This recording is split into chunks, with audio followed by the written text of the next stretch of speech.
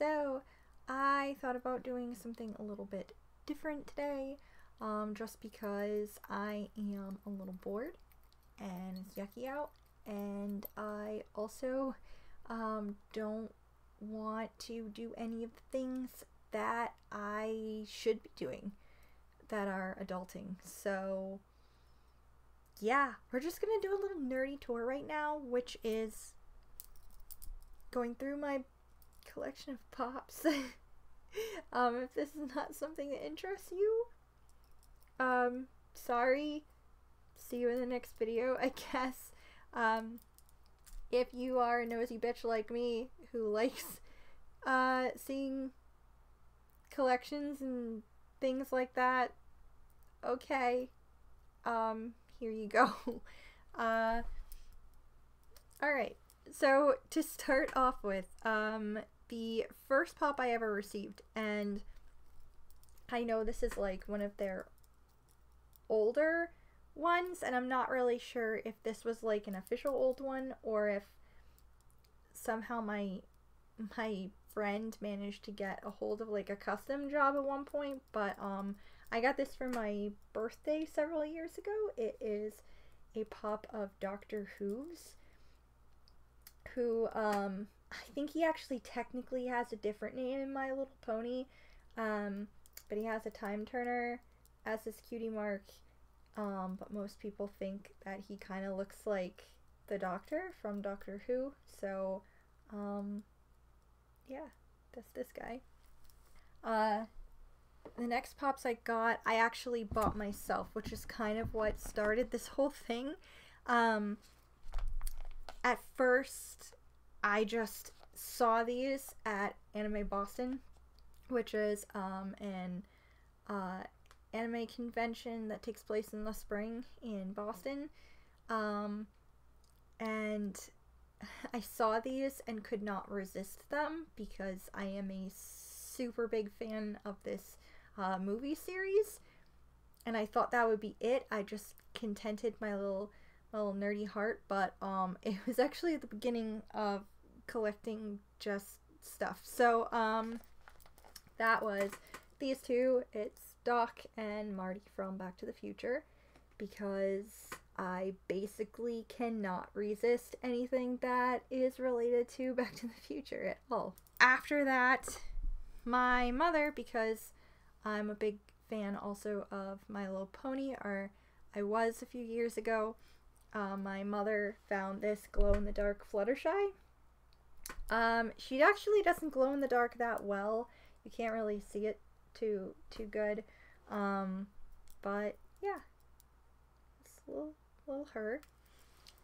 Uh, and then around the time of the 2016 election, um, they were selling pops of some of the candidates, and I picked up a Bernie Sanders pop because I did. Um, he even has a little Bernie 2016 um, pin on. I don't know. I think it's cute, but then after that, so I don't really remember when I got these, but I think they were all roughly around the same time. And I'm pretty sure that I picked them up um, at FYE.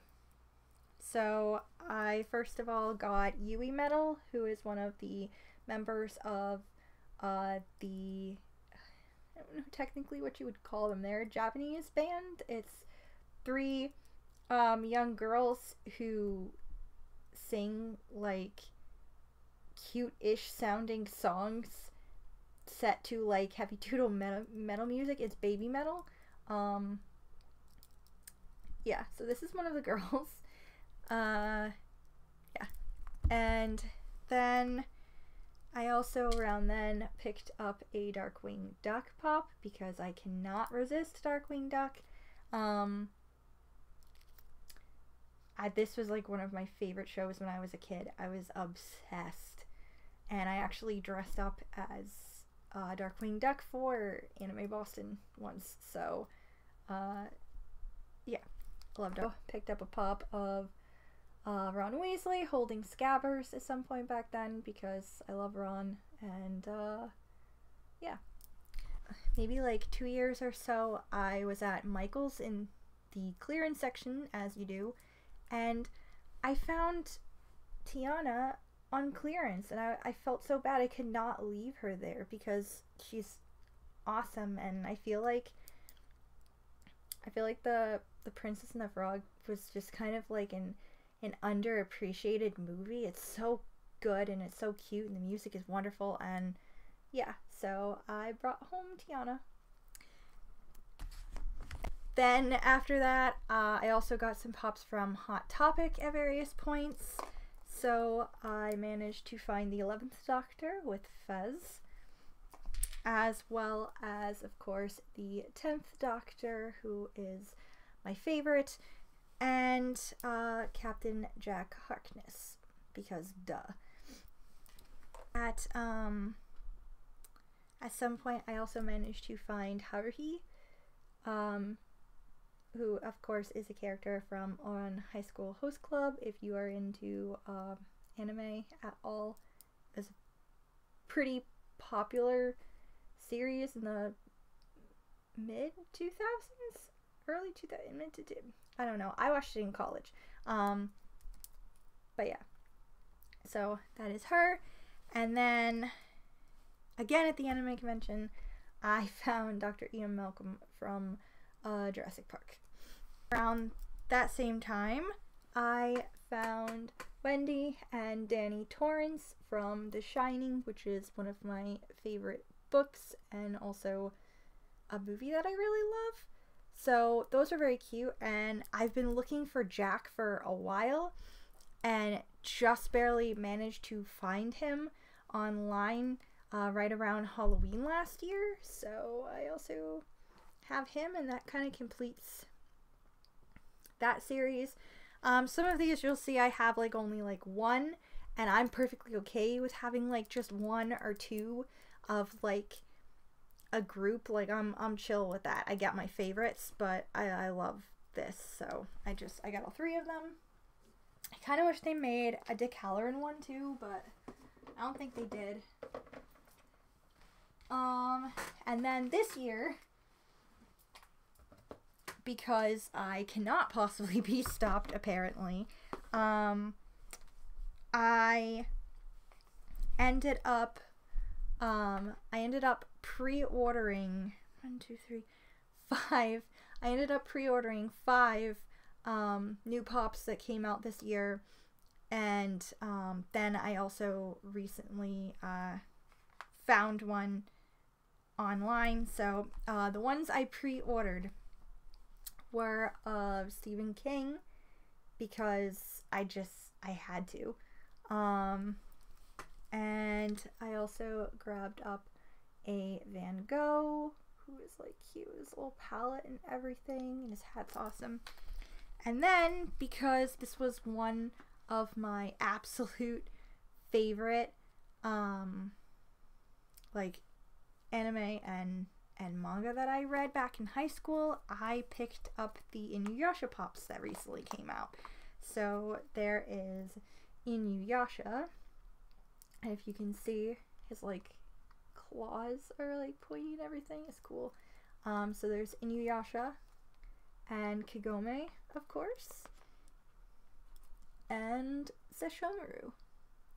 So that makes me really happy. And then the last one that I got this year, I think was the most recent of all of these. Um, my one of my best friends is um, super duper into BTS. Um, she is definitely a part of Army. Um, I am not. I mean, I enjoy their music, but I'm not like um, a super fan or anything. I, I just kind of enjoy it. Uh, but I do have to say the BT21, B2, BT21, I'm pretty sure that's what they're called. I'm so sorry. It's not correct. Um, their little uh, alter ego characters that they came up with are freaking adorable. And I just cannot resist. Um, and one of the guys that I uh, I enjoy his voice the most. His alter ego is also one of the cutest. Um, so I picked up this little guy. He's a sleepy koala. He's so freaking cute. Um, but yeah, so that's basically, yeah. Hi everyone, it is Future Jen cutting in for just a moment to add that um that little oh I think his name is Kano, the koala pop um for RM. That was not the last one that I got this year. I also recently purchased um two more pops because I seriously have a problem.